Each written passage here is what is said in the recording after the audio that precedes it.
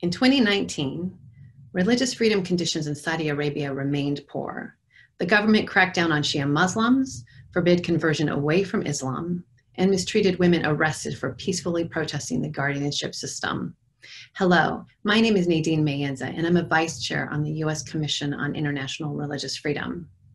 In our 2020 annual report, we have recommended to the State Department that Saudi Arabia be designated as a country of particular concern for its systematic, ongoing, and egregious violations of religious freedom.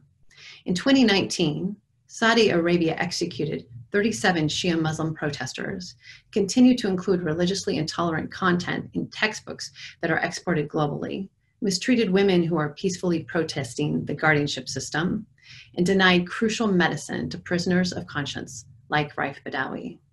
There are many ways in which the US government can pressure Saudi Arabia to ensure its citizens the basic human right of freedom of religion or belief. You can learn more about these at uscirf.gov.